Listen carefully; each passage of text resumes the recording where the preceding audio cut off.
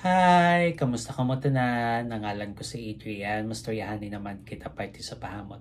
Hini nga pahamot nga luyay ko istorya sa inyo subong tawag siya Oud Wood for Men and Women. Iyan ni siya ni Tom Ford.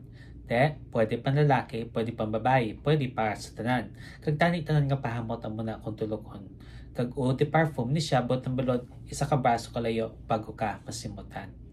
Te, ano ni siya klase nga pahamot? Bali, madalom nga makahoy. Amo na siya kung simutan. Angay siya sa katamtaman nga panahon ang temperatura nga para siya is between 60 to 80 degrees Fahrenheit o kung 16 to 27 degrees Celsius. Te, ano ang iya mga nota? Simple lang, isa lang kalinya sa mga nota. Kag ang mga nota ay agarwood, Brazilian rosewood, sandalwood, cardamom, Sichuan pepper, vanilla, vetiver, tonka bean, kag amber. Na ang agarwood, amo na siyang gahatig sa pagkadalom nga hamot. Tapos, may sandalwood siya nga may pagka-oriental kung simutan. Tapos, cardamom, Sichuan pepper nga pampakahang. Tapos, may vanilla nga pampahumok.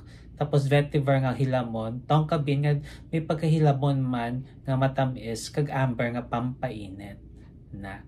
Te, kabay pa nga namian kamo sini nga pahamot kag kung may ipapaka mga mga pahamot nga luyag istorya sa akon ibilin lang sa comment section. Sa so, taso naman bye bye